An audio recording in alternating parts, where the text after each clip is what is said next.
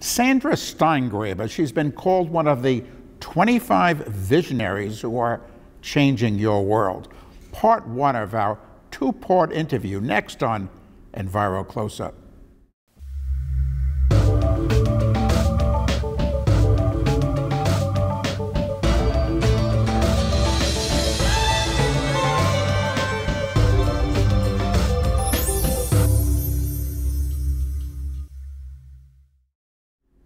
Welcome to Enviro Close Up. I'm Karl Grossman.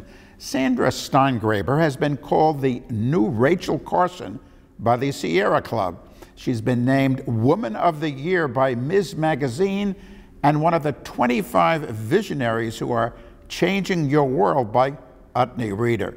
She's the recipient of the Rachel Carson Leadership Award and the Jennifer Altman Foundation's Altman Award for inspiring and poetic use of science to elucidate the causes of cancer. Great to be speaking with you, Sandra. Thanks for having me, Karl. It's great to be here. Sandra, your inspiration has been Rachel Carson. Could you please explain why? Sure. So, Rachel Carson is kind of my guiding spirit in all the work I do. Um, she, of course, came of age in a different generation than did I, but she is a, both a biologist who made her living as a writer, which is um, how I have organized my own life. Uh, and her book, Silent Spring, came out when I was only three years old. But I feel as if I, I am one of the youngest people to remember the publication of that book because my dad um, used it as a course text in his consumer education class. My father was a very conservative man. Um, he was uh, a returning GI from World War II, and for him, her ideas were sensible, rational, and ultimately conservative. You know, he often said that conservation and conservatism shared more than just an etymological root. And so he went about practicing gardening, which is a big um, form of therapy for, for him to kind of overcome some of the trauma that he experienced in wartime Italy using Rachel Carson as his guide. And so I can remember that book coming out of his briefcase at the end of every school day when he would walk home. And I couldn't read the words, but I knew what the cover was. And I knew it was a book that was really important to my dad. And in fact, I saw the same book tucked under the window of the bus driver that every Wednesday took my mom and me into town to do laundry. It was the book that all the adults were talking about and, and, and reading. I didn't really read the book myself until years later when someone invited me to keynote a conference on Carson's legacy. And uh, I thought I was rereading her book, and, I, and yet none of it sounded familiar to me as I was reading as a young biology professor at the time. So I realized that it was one of these books that uh, I think I, like a lot of people, um, think they've read because it's so iconic. Um, but in fact, no professor had ever assigned me to actually read it. And, and when I did, it was really with a writer's eye. And I wanted now to do what she had done, and, which is to say, to find a language beautiful enough to honor the biological systems that she and I were both writing about, and, and use um, language as um, a vehicle to help people look at some really difficult truths about the chemical contamination of our environment. Now, you know, 30 years of feminism lie between my adult life and hers, and so in some ways my tasks were so much easier than her, her own. Um, she received all kinds of um, attacks by industry, as have I, um, but very ad hominem attacks. You know, she was criticized for being a spinster, um, and like why, uh, why would she care about future generations if she didn't have children of her own and that sort of thing. Um, and and because of that, she scrupulously kept her own autobiography out of her writing. In fact, she hid huge parts of herself, most notably the fact that she herself was a cancer patient while writing uh, Silent Spring. And her writings to a, her dear friend Dorothy was where she revealed her fears around that. Um, but she was she was sure, and I think she was right about this, that if she had revealed that she herself had cancer, her chapter on the evidence linking pesticide exposure to cancer would have been called, her objectivity as a scientist would have been called into question. So I made an, a different decision with my own writing, um, thinking about, like reading her private writings and then reading her public writings and seeing this, this huge disconnect. I felt like um, the challenge before me was what if I could bring these things together and write about my life as a cancer patient, which of course is the other thing I have in common with Carson, um, and write about that autobiographically in the same book where I'm dispassionately and objectiv objectively laying out the evidence for a link between cancer and the environment. Um, and it was my feeling that a window had opened up in the culture that allowed me to do that. And, and, it was particularly because feminism had opened that, opened that pathway to me. Um, the idea that women's experience is not only um, interesting, um, but also authoritative. Um, and on top of that, the things that happen to us are not necessarily the opposite of being able to correctly analyze a bunch of data, that I could do both of those things. And in so doing, I, would create a narrative strategy that allowed me to reveal the lives behind the data points, using my own life as simply one. So here's, here's a bunch of data from my home county showing that we have an excess rate of cancer there, significantly statistically higher than other zip codes.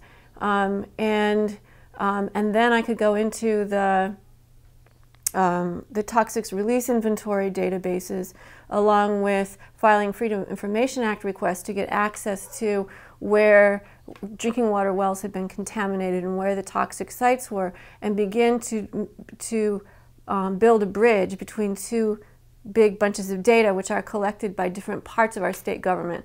The cancer registry data on the one hand, which shows temporal and geographic patterns, a sort of moving shadow of cancer across the geographic landscape, clearly demonstrating that cancer is not a random tragedy but shows patterns in time and space, and take that bunch of data together with what we know about where we've dumped the toxic waste, where we're spraying pesticides, where the drinking water wells are contaminated, and bring those two things together.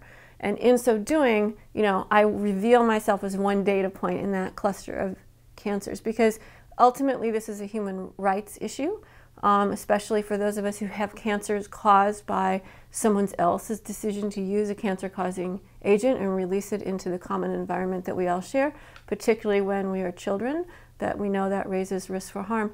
And so I'm still paying the price for my own health based on decisions that were made about industrial practices and agricultural practices years before I was born.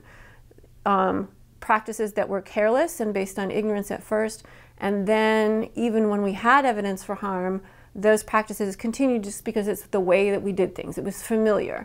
And Carson actually called this the harmless aspect of the familiar. Um, and so that is a, a, phrase I took up and really wanted to ex explore. Um, but I felt like I was going to be able to actually talk about myself in and around the data uh, and, and, I could dare myself into that in a way that that wasn't going to be available to Carson at all. Um, and I think uh, I think I was right about that because I, um, of course, you know, my work is heavily scrutinized by industry, and they've had their things to say about it.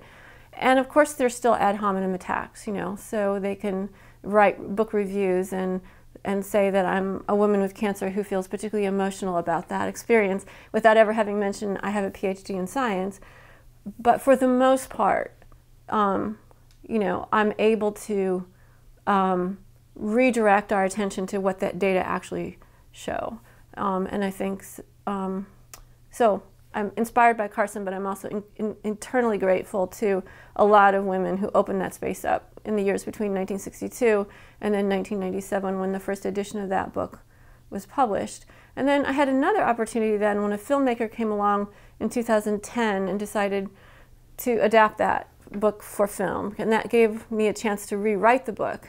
The, the science had evolved. And so, of course, the second edition of Living Downstream is much longer than the first because there's so much more science now, including this whole new field of epigenetics, which specifically looks at the way in which certain hormonally active agents can insinuate themselves into the cellular machinery and turn on and turn off genetic switches, not causing mutations, which is the sort of classic pathway to cancer formation, but rather changing what we call gene expression. So even in 1997, we didn't know much about that, but by the time I rewrote the book in 2010, there was a whole burgeoning field of study.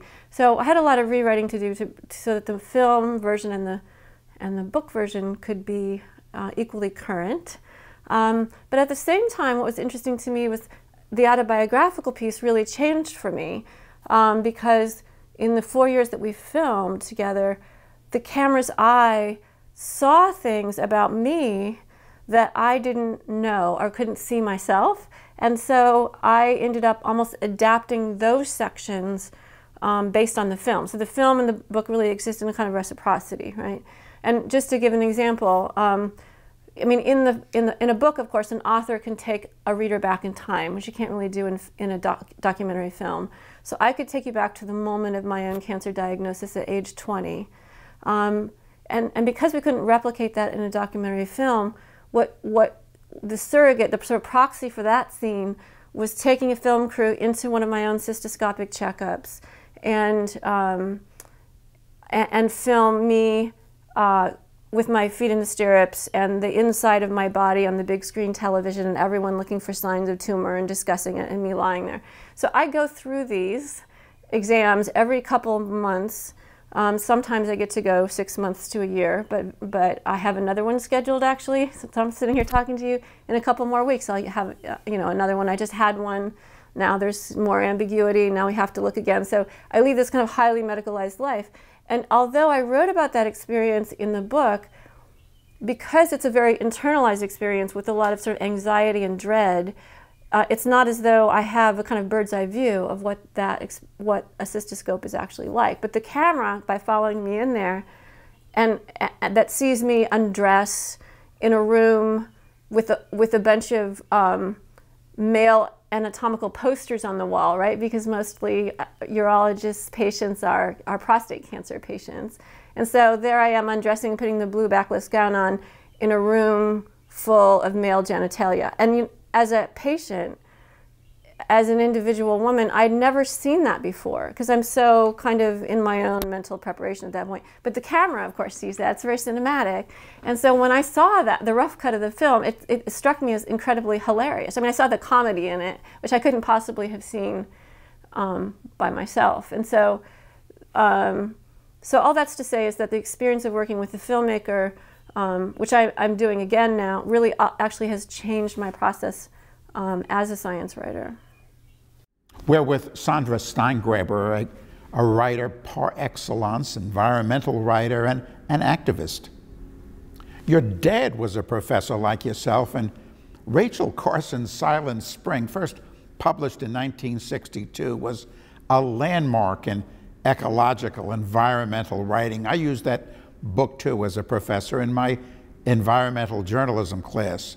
Now, you went on after living downstream to write having faith, an ecologist's journey to motherhood, which was the next step in your life, motherhood. Would you discuss that book, please? Sure. So, um, so I became a mother at the brink of 40, having had cancer at the brink of 20, which I know isn't how most people's lives are organized, but that's how mine worked out. And so for me, um, uh, pregnancy was a, a, kind of miraculous experience. Um, and I, I, really did lie down on the same ultrasound table um, in Boston's Beth Israel Hospital to receive my first prenatal ultrasound that I had formerly been signed for scans of uh, looking for signs of tumor. And so I had to remind myself, you know, if they see signs of growth this time, it's a good thing and not a bad thing. And so, but I bring this whole other set of associations to things like ultrasounds. You know, it wasn't necessarily a kind of just unadulterated, joyful experience for me. But the idea that my body could grow this beautiful new life was, um, it was utterly remarkable to me. I mean, as a mammal, as a woman, as a biologist, I was just fascinated by the whole phenomenon. So I really kind of turned my scientist eye inward at that point because I was aware that um, some of the chemicals I had been writing about and their ability to influence the story of human cancer um, also played a role in um, altering pathways of development. So I got very interested in the field of fetal toxicology and, and uh, moved actually at that point from Boston to Cornell University um, and took up a post um, in um, the environmental health program at Cornell, which gave me access to um, the you know library resources and things that I needed to understand because I really had to teach myself um, embryology and the development of the placenta and, and things like that. So uh, it was the, the science in that book is um, some pretty tough sledding, um, really complicated neuroendocrinology and things like that. But the the writing piece of it was a dream because it a pregnancy kind of organizes itself, right? So I could just tell the story chronologically in diaristic fashion. Each chapter is one month of pregnancy. Then comes the kind of climax of um, the birth scene and then the kind of denouement of breastfeeding relationship, which goes on for a couple more chapters. So, so the arc in that book is really the moment of conception through the the, the time where uh, the breastfeeding relationship begins to come to an end, which for my daughter was around right around the age of three. Um, and, and the book is called Having Faith, uh, my daughter's name being Faith, and so I guess your uh, our listeners and viewers can imagine why uh, a woman with cancer would, would name a child Faith. um, uh, so the, the, the sort of literary part of that book was really easy. The science was very difficult, um, which was a little bit different from um, Living Downstream, which um, was heavier on the science, but it was uh, more complicated to me to write about my life as a can cancer patient. I found that more challenging. And your third book was Raising Elijah Protecting Our Children in an Age of Environmental Crises. Describe the nature of that book, please. Right. So, so Raising Elijah, named after my other child, uh, my son Elijah, who came next. And the, the, um, the science in that book really continues from where Having Faith left off. So it starts with birth and then takes a look at the way the way different kinds of uh, inherently toxic chemicals enter the story of child development um, and can alter different organ systems in ways that um, make this new person turn out differently than they otherwise would. And the, that book goes from, uh, it, it takes place after birth and goes up through and including the timing and tempo of, of puberty. And, and that book, because it covers a much longer span of time, represented a bigger writing challenge to me. And it's the only book I've ever written in the past tense, because the past tense is a bit roomier than, than diaristic present tense. And so I could do flashbacks and, and kind of skip over long chunks of time. Um, whereas having faith because it's kind of about the opera of human development moment by moment and day by day of a pregnancy.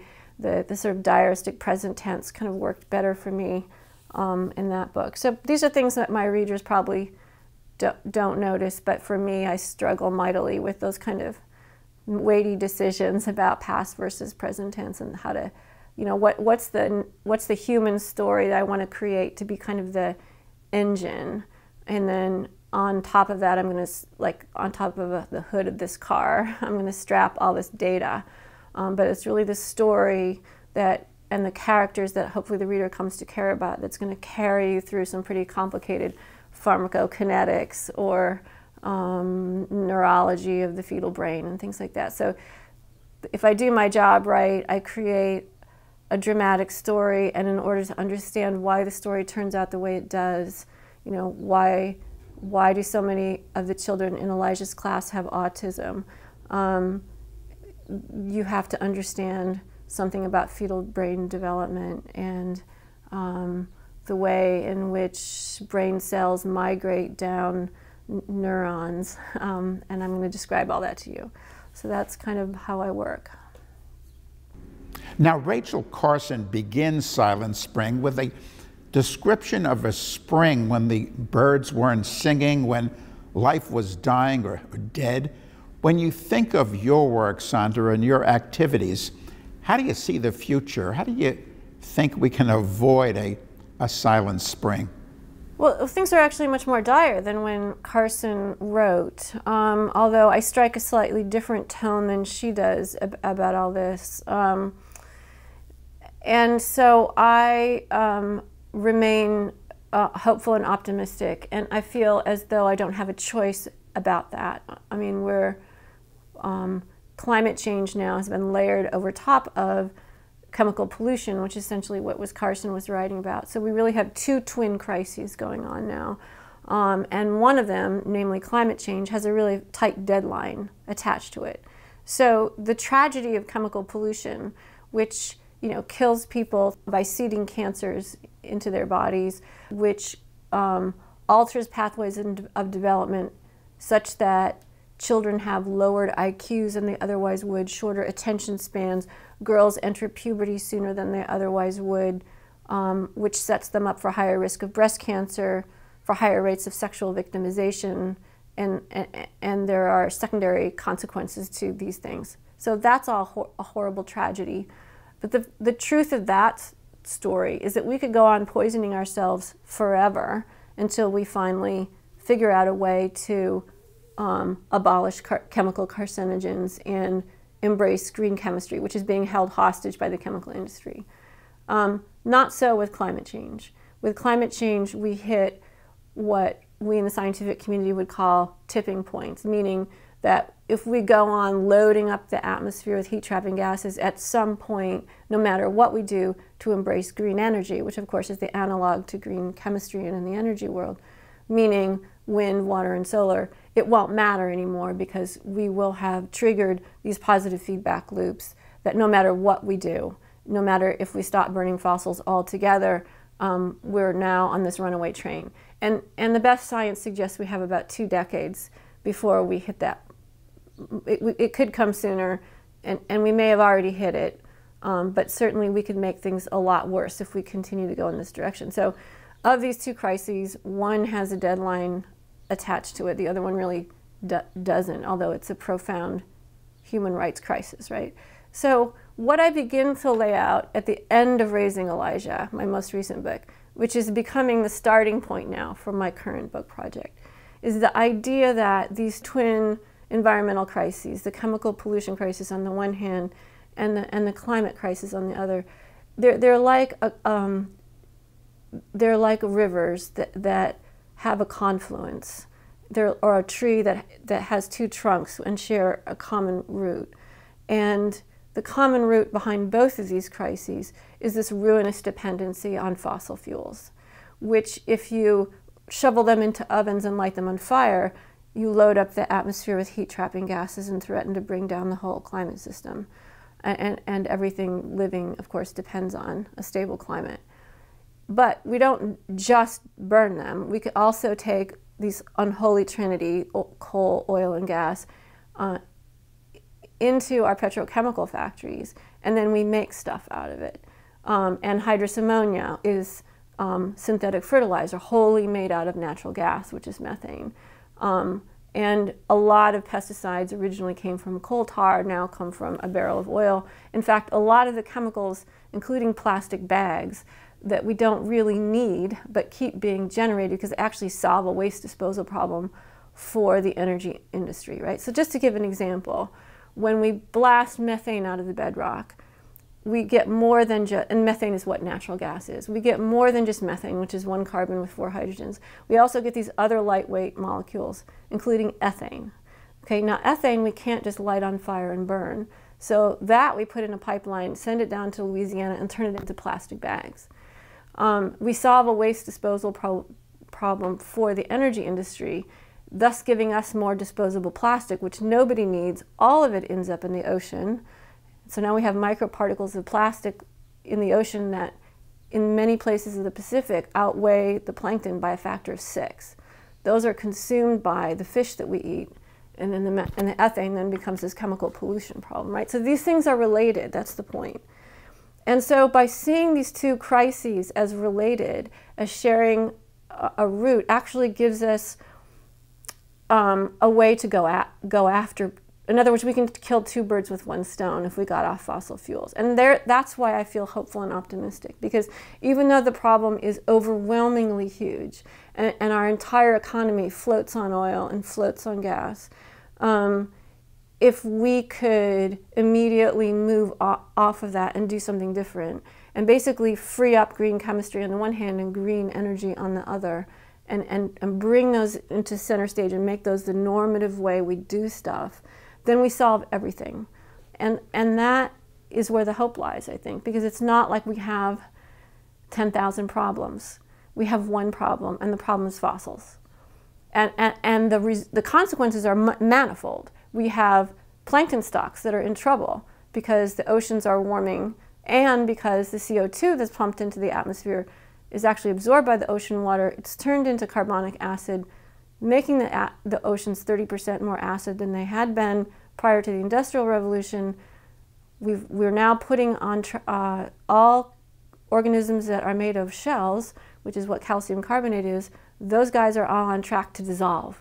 Because at some point you hit the pH point where everything that's made of calcium carbonate simply dissolves into solution. And, and, and so you might think, well, I just won't eat oysters anymore. But in fact, almost all of the zooplankton represent the larval form of stuff that when they're adults have shells, like barnacles and uh, coral reefs and things like that. And so that's the basis of the entire oceanic food system. And so we ecologists are paying a lot of attention to that. The problem is that nobody's given the memo to the rest of the world.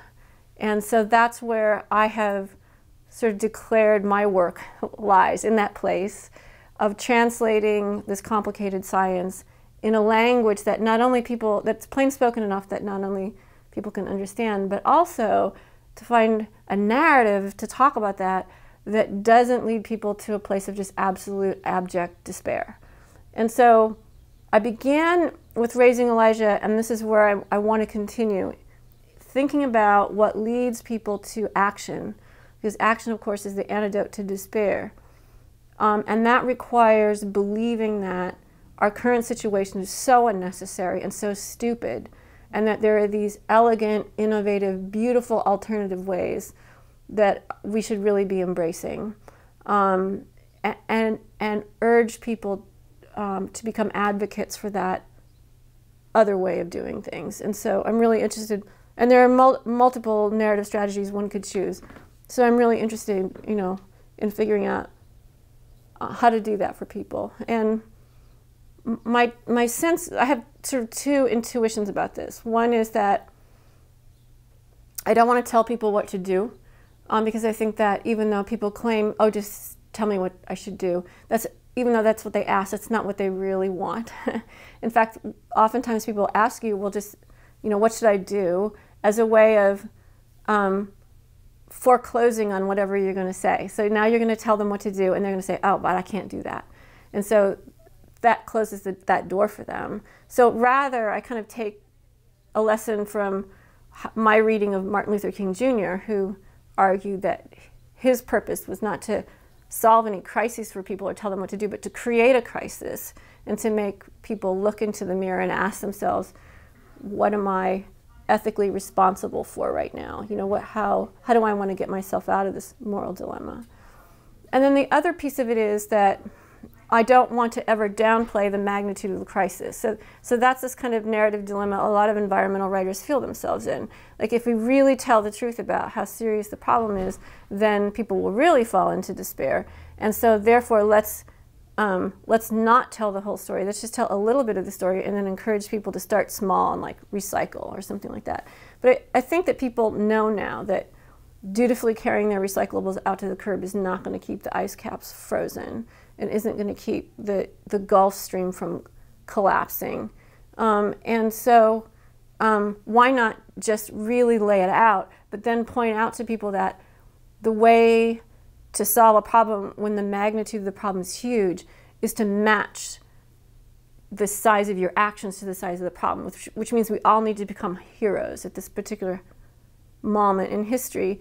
And there are other times in history where people had to do heroic things like go off and defeat global fascism and take on Hitler or abolish slavery and divorce our economy from a ruinous, ruinous dependence on unpaid slave labor. These were huge problems that um, people had to come to terms with um, and, and really had to look in the mirror and decide what side they were on. And so I'm really interested in trying to engage people that way and look back in history to see how people in the Warsaw Ghetto decided against all odds they were going to stand up anyway, or how people who hid runaway slaves knowing that they had, you know, six kids and a crop in the field, and if they went to jail, nobody was coming to take care of their family. Why did they do that anyway at such great risk to themselves? And that's why that, that last book is named Raising Elijah. My son Elijah is actually named after an abolitionist from my home state of, of Illinois, uh, Elijah Lovejoy, who was actually uh, assassinated by um, a pro slavery mob and pumped full of five bullets on his 35th birthday. But um, his words as an abolitionist writer lived on uh, after him. So, um, how can we? I mean, the title is intended to be kind of a double entendre, right? How can we raise up the spirit of Elijah Lovejoy for our times? How can we bring back an abolitionist spirit where we're not just, you know, we, we decided at some point in our nation's history we're not going to just regulate slavery. We're not going to improve slavery emission rates. You know, um, we're just going to abolish it because as Elijah Lovejoy said, it's just a homicidal abomination and we need immediate emancipation. That's what he insisted on. So how can we do that now? There's so much, much more for us to talk about, especially how you've combined your research and writings with direct action, challenging the entities that have made and are making a, a mess of, of the planet, and even going to jail in doing so. We'll discuss this and more in part two of our two part Enviro close up interview with Sandra Steingraber. Thank you for being with us, Sandra. It's nice to be here. Thanks for having me, Karl. To see part two, go to our website, envirovideo.com, and follow us on Twitter at EnviroVideo. For Enviro Close Up, I'm Karl Grossman. Thanks for watching.